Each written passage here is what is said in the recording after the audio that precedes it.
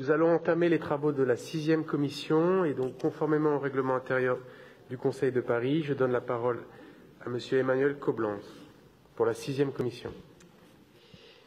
Merci beaucoup, Monsieur le maire, chers collègues. Lors de cette séance de notre sixième commission qui s'est tenue en ligne lundi 25 mai, les adjoints ont d'abord présenté les principales délibérations qui sont à l'ordre du jour de notre Conseil. Ainsi, Hélène Bidard a présenté la délibération DDCT 19 qui porte sur la lutte contre les violences faites aux femmes. Ce sujet est bien sûr un engagement continu de la ville de Paris, qui plus est dans un contexte pandémique. L'action de la municipalité se renforce autour des axes suivants une information massive, davantage d'accueil et d'accompagnement pour toutes les victimes, une attention particulière pour les situations de femmes d'origine étrangère et une prise en compte plus complète des problématiques de santé mentale.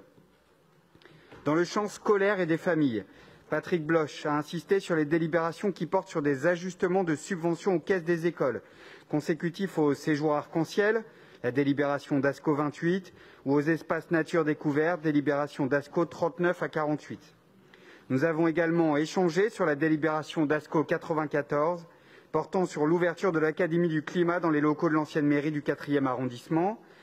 Patrick Bloch a rappelé à quel point l'éducation à l'environnement et au climat constitue un enjeu majeur et une responsabilité vis-à-vis -vis des jeunes générations qui sont particulièrement mobilisées pour construire le monde de demain.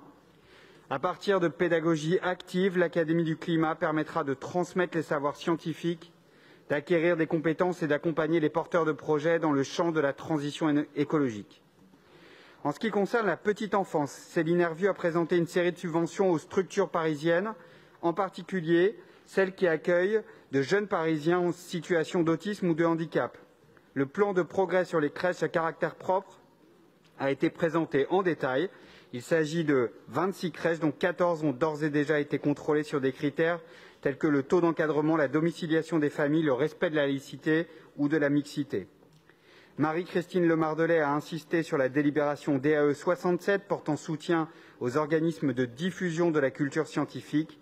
Enfin, Dominique Versini a pu détailler le plan parisien de lutte contre les violences faites aux enfants. Je ne peux évidemment ici détailler toutes les facettes des 24 engagements. J'indiquerai simplement que de très nombreux élus de la sixième commission ont salué ce plan ambitieux, la ville de Paris étant la première collectivité locale à s'en doter. Voilà, chers collègues, le compte-rendu succinct des échanges de la sixième commission. Je vous remercie. Merci, Monsieur le Président.